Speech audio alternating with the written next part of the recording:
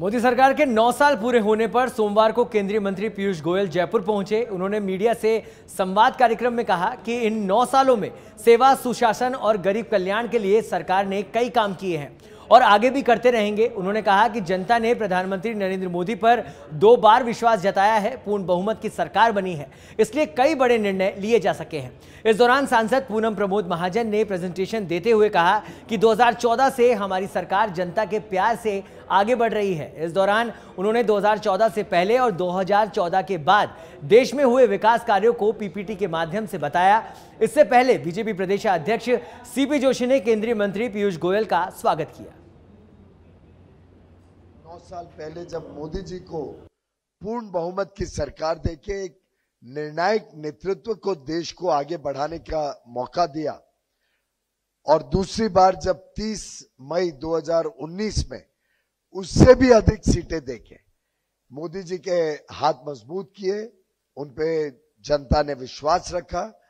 उसी के फलस्वरूप देश में इतने सारे काम तेज गति से हुए प्रगति अपनी देश की अर्थव्यवस्था की हो, गरीब कल्याण की हो, सेवा कार्यों की हो, और सुशासन लाने की हो गुड गवर्नेंस को प्राथमिकता देने की हो। इन सबको केंद्र बिंदु रखते हुए प्रधानमंत्री जी ने जो चौबीसों घंटे दिन और रात एक कर पूरे देश में बिना भेदभाव के हर एक व्यक्ति तक जैसा बहन ने कहा कि समाज में सबसे नीचे की छोर पे बैठे हुए व्यक्ति तक भी।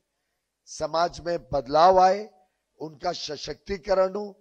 देश के 140 करोड़ लोग कैसे एम्पावर हो, कैसे उनमें मज़बूत ताकत आए कि वो चुनौतियों का सामना कर सके, कैसे 140 करोड़ की हमारी लोकतांत्रिक ताकत जो एक प्रकार से भारत को लोकतंत्र की जननी कहा जाता है मदर ऑफ़ डेमोक्रेसी ये ताकत कैसे विश्व पहचाने, विश्व तक पहुँचे, और जो थ्री डीज है, भारत की युवा population young population demography Bharat का लोकतंत्र डेमोक्रेसी और 140 करोड़ लोगों की कर्तव्य भावना से करी हुई कामों की ताकत जो डिमांड क्रिएट करती है, जो अर्थव्यवस्था को बल देती है। जिसके लिए ऐसी आधारभूत सुविधाएँ देश में पैदा की जा रही है एक नींव रखी जा रही है। इतना विश्वास दिलाता हूँ कि काम कर रहे हैं करते रहेंगे काम सेवा भाव से हो रहा है सेवा भाव से कर, करा जाएगा।